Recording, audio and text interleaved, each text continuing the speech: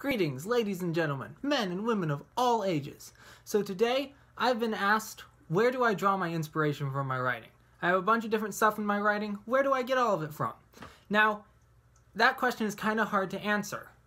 I generally take in a lot of things through reading, games, internet, whatever, and it sort of just mulls and mixes in my head, and then creativity comes out. You don't there's no really original work. Our work is all inspired by something. So today, I'm going to show you a bunch of stuff that I've read, I've played, um, stuff like that, that I think have has sort of like leaked its way into my writing in some form or another and inspired what I've written. So first of all, I have a bunch of stuff here. I'm going to go through it. The Greek myths. The Greek myths are hugely um, awesome. They have gods and goddesses and nymphs and heroes and all that fun stuff. Uh, read about them, and that's affected my writing. Uh, different types of heroes, stuff like that. Shakespeare, also fantastic.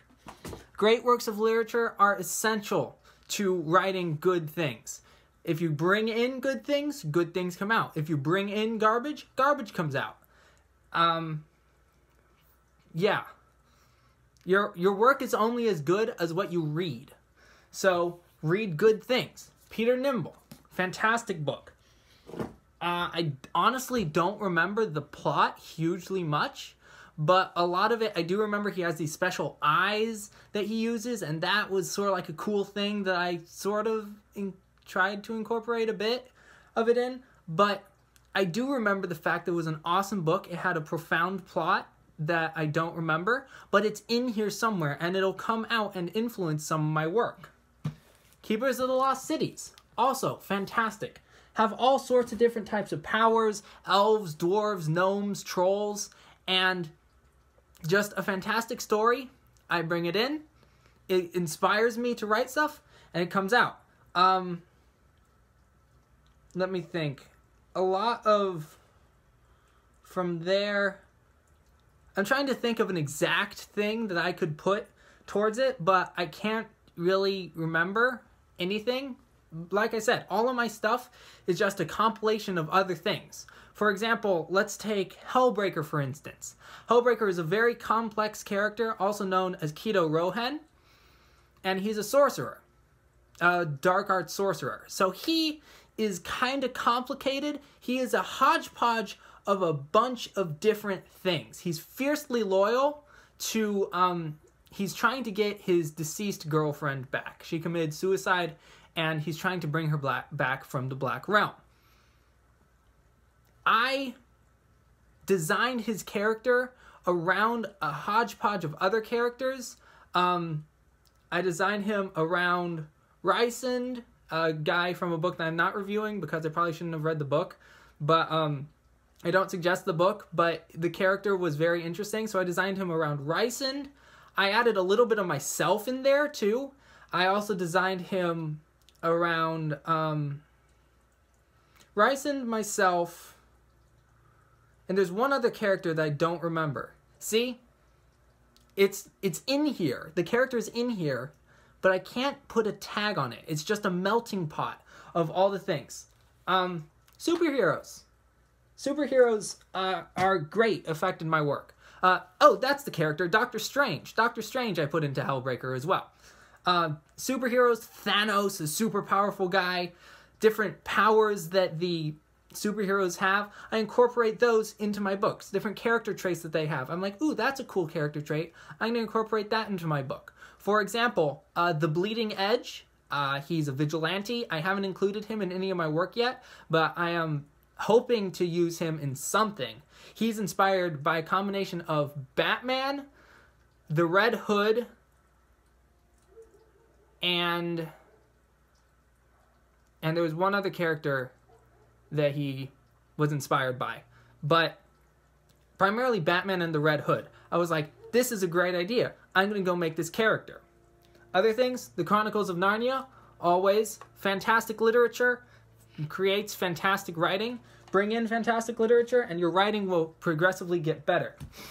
Harry Potter. Now, I know this might not be for some people. Some people think it's dangerous. It's a book. It's okay.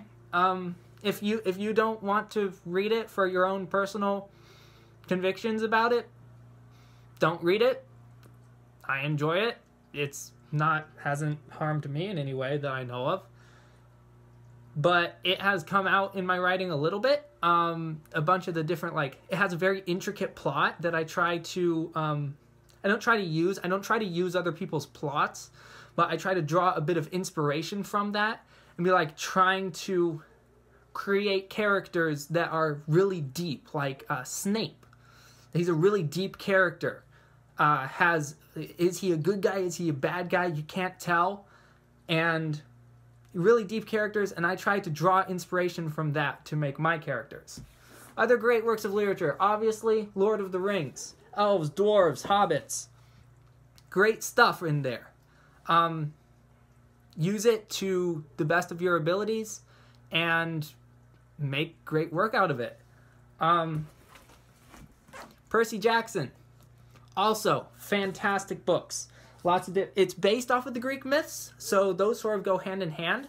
But again, heroes, powers, awesome plots, and cool plot twists. The plot twists are really cool because you can sort of like copy plot twists.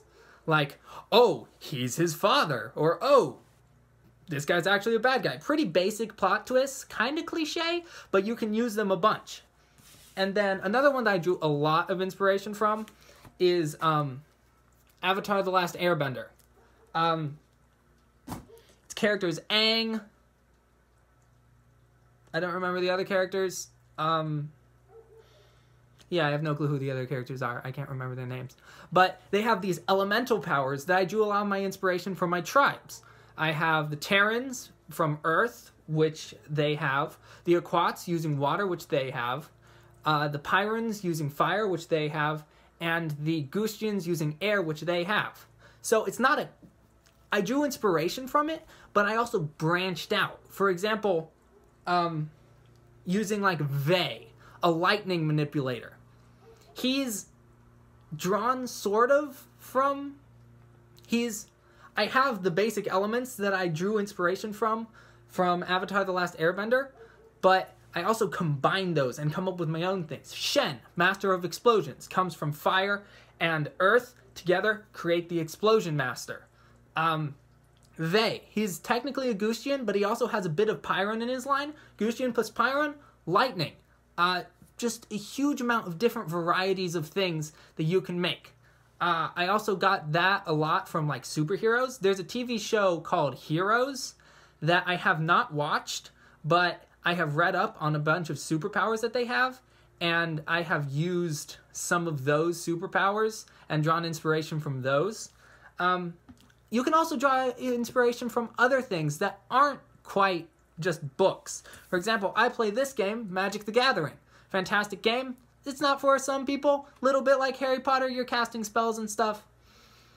Um, maybe not for you. It is for me. Um, not dangerous, really. I don't want to be controversial about this, but um. Anyway, um. Drew, drew, draw. Hmm. I take that in, draw a bit of inspiration from that. It comes out. Um, they have different powers and stuff that you can use, and I incorporate those into who I have. And yeah, so that's a bunch of the stuff that I draw inspiration from uh, books, games, movies, whatever you take in comes out in your writing. So make sure you're taking in good things. If you want to write good things, take in great works of literature, well written books, and you will be able to write more well written books. If you take in like fluff, not that great stuff, just random stupid things that you want to read, your writing's not going to be that great. Try to draw inspiration from the great things that you read. So, that's how I draw inspiration from my work. I hope you use it as a tip to draw inspiration for your work or bleh, for your work, and I will see you guys later.